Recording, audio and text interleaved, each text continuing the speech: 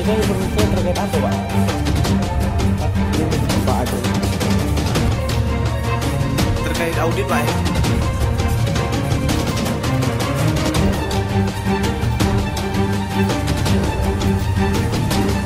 Pak, ini gimana Pak di atas tadi, Pak? Pernah tanya nggak?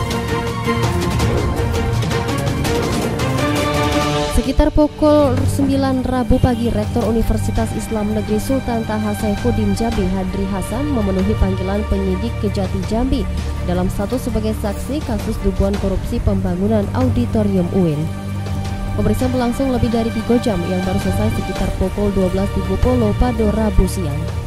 Keluar dari ruangan penyidik Kejati Jambi dengan menggunakan baju putih, Rektor UIN Hadiri Hasan tak mau membuka suara. ya? Sejumlah pertanyaan awak media dak sekok pun yang dijawab.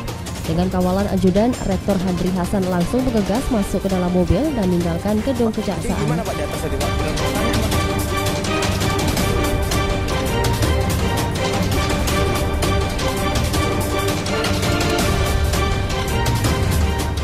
Solehan Syaf, Jambi TV.